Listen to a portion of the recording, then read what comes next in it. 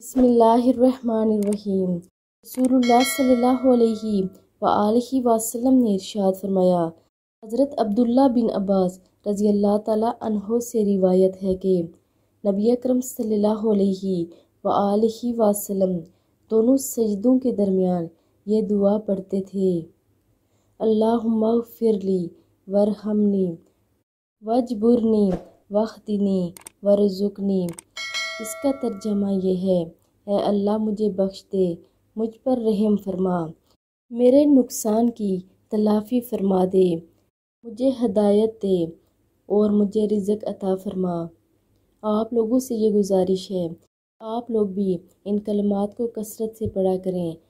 बेशक अल्लाह रब्बुल नवाजने वाला बड़ा ही मेहरबान है। आप सब भी वीडियो को आगे लाजमी शेयर करें। जजाकल्ला